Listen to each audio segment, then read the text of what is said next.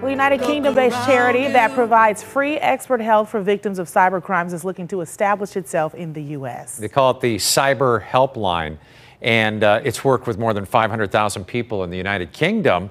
And uh, it's helped them over the past six years, in fact. The Helpline's manager is going to be giving a presentation on how to support victims here in the U.S. That will be at the Ritz Carlton in Clayton. The presentation will go over different threats online, the impact it has on victims, and how to avoid them in the future. There was a 2023 study, it was done by the Pew Research Center, and it found 53% of U.S. citizens have been victims of identity theft, fraud, or online harassment in the last year.